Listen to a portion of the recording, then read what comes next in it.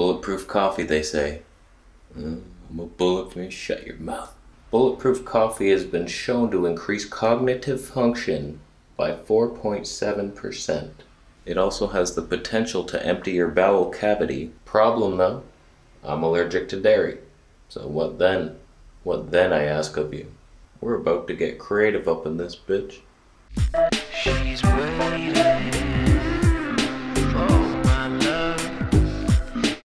So may I present to you cowproof coffee using our friend the cow. This is a stick of cow blubber. This is bound to go well. So we made some coffee earlier. I don't know how to make coffee. I'm an idiot. I just boil it. I just boil it in water for like two minutes. It's been sitting for like half an hour. I strain it in my hippie bag. This is a hippie nut milk bag. Just strain that. I just do that. And now, She's waiting, waiting for my love. so what you want to do is grab a big hunk of beef blubber and then you stick it in.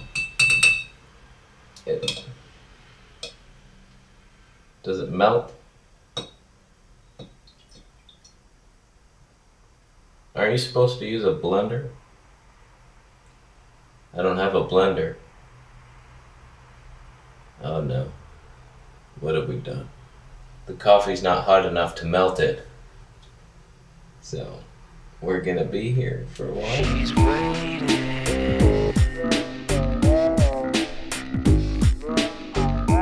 Feel like the blender was an integral piece to this puzzle.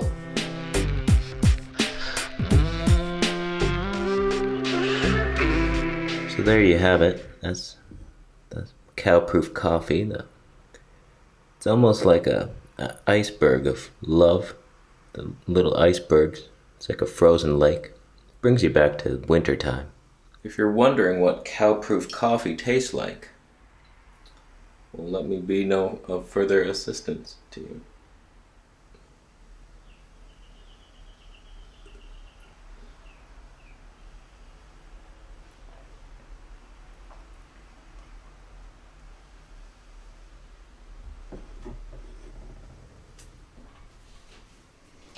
That is delicious. Wow.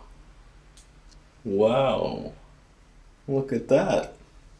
Look what we get to drink today. That's gonna be fantastic. Oh, I look forward to finishing that off.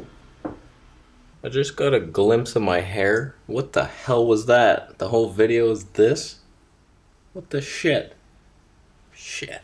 So let's talk a little bit about coffee consumption. I'm on this keto carnivore diet, and I've been doing one meal a day, and it's tough to eat enough. Calories in general, like I'm losing weight a bit. I've lost a little bit of weight. Since being vegan, I was 68 kilograms as a vegan. I'm 65.7 now.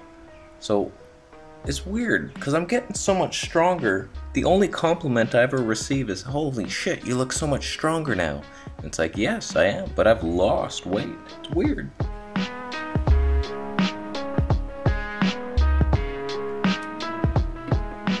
So here's the deal I've been off coffee for like two weeks. I feel phenomenal. I don't need the coffee for energy, but I do miss its bowel moving properties. We're still experimenting here. Sometimes things flush out and I'm just like, alright, good to go. And then other times it gets stuck. It's like a roadblock in the left hemisphere of my colon. And it's like, what are you gonna do today? I'm wiggling and shit. The wiggling doesn't help. So I figured we try something new. We bring the coffee back, add some calories to it, drink this, and then wait until I feel hunger. And we spread out our one meal a day a little bit. This is my first meal. It's so delicious. I look forward to this every day. Wow. You can see the coagulated blubber on top. So we add a little beef blubber to our coffee. That should bring us into the afternoon, and then we have our one meal, meaty broccoli in my life right now, and this could work.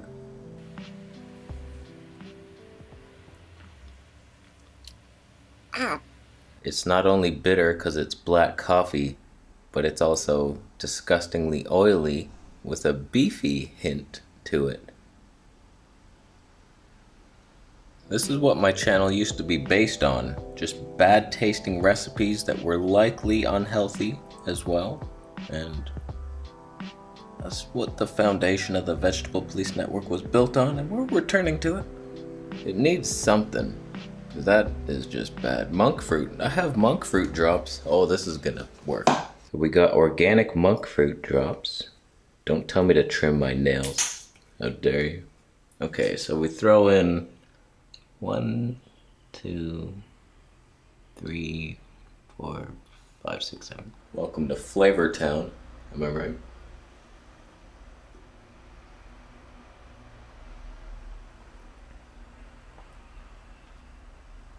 Oh, it's worse.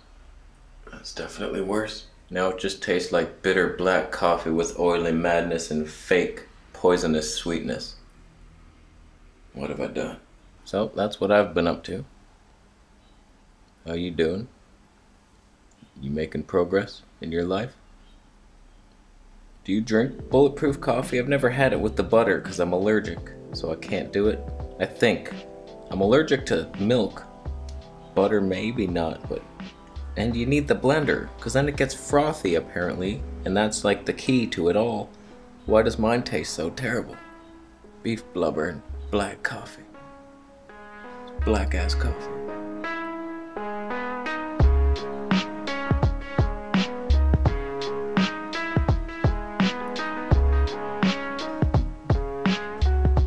Not only tastes bad, but now I feel neurologically damaged due to the caffeine.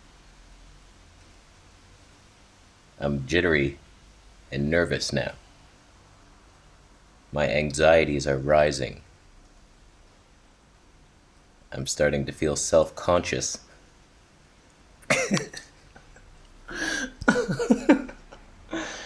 oh, Jesus Christ. so, phenomenal tips here at the Vegetable Police Network. That's what you can expect here. I don't know. We'll see how I feel. We'll see how I feel. If I'm like just so super enhanced mentally and I feel stable energy for a couple hours, I'll continue to do it. We'll figure out a way to make it better tasting. Maybe some cinnamon in there or something. I don't know. Cayenne pepper. These are my ideas. I have terrible recipe ideas. I should make a recipe ebook. It'll just be like flour and flowers. So post your better coffee recipes down below. Let me know how you do it. 'Cause I just I learned from you guys. I post something stupid like this, and then y'all will correct me and show me, no, this is how you do it. This will taste good. And so hopefully, I know coconut oil, some people do that, but I had beef blubber and I wanted to use it. So that's what we've done here today. So tell me down below, is coffee healthy? Oh my god, it's a neurotoxin. I don't know. The longest lived people on earth drink coffee. It's like if you're going by the science, it's like it enhances everything. If you drink too much, though, then your adrenals are taxed because coffee stimulates your adrenals to wake up. Mine were sleeping, and we need it. We need it. If you want to move those bells on a carnivore diet, you better drink some coffee or something.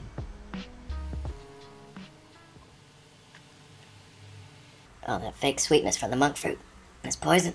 So I think we're done for today. Now that I have coffee in my brain, I'm gonna upload my Monkey Strength book.